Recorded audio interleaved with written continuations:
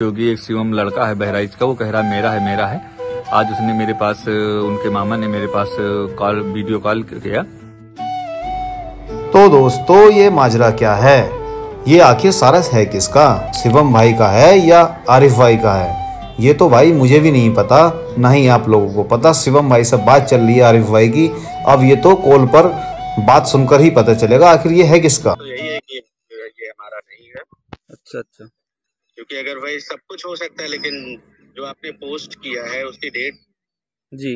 Time तो कोई नहीं चेंज कर सकता। नहीं नहीं वो तो हमको भी बाद में याद आया कि जब शिवम कह रहे हैं कि ये मेरा है फिर हमने न्यूज़ देखी तो उसके बाद देखा कि उसमें बोल रहे हैं दो ढाई महीने तो वही हम कहे अच्छा हम चेक करते हैं हमारी पहली पोस्ट कब की है? तो दोस्तों ये सारस तो आरिफ भाई का ही निकला।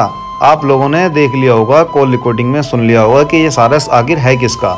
तो शिवम ने मानी अपनी गलती।